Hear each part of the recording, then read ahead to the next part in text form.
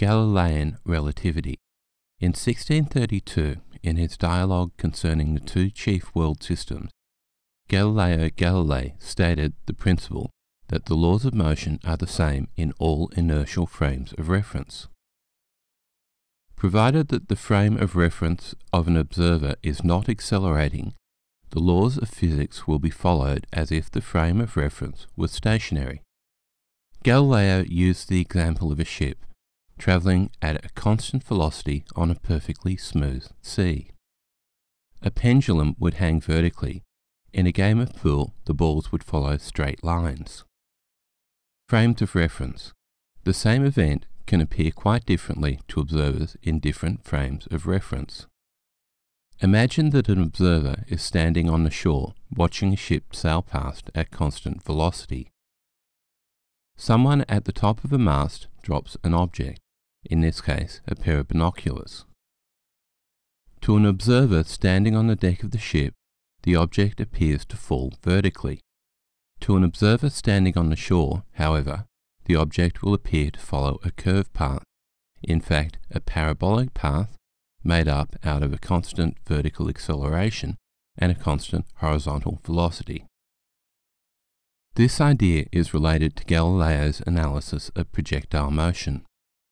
An object dropped from the top of the mast of a moving ship from the point of view of a stationary observer follows a trajectory similar to that of a ball rolling off the edge of a table. The image below shows a situation for a ball thrown vertically by a person on a moving cart. To an observer on the cart, the ball ascends and descends vertically as if the cart were stationary.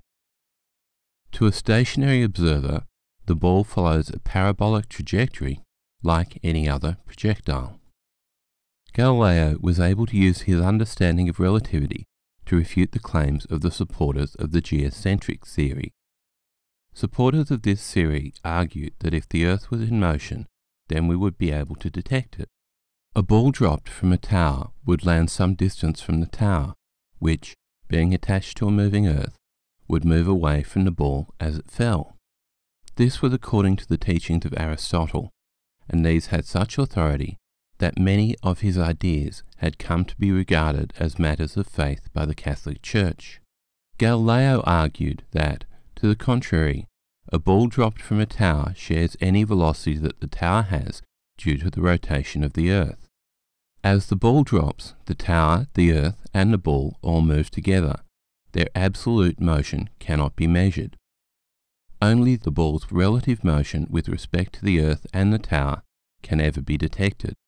To say that something is moving is almost meaningless.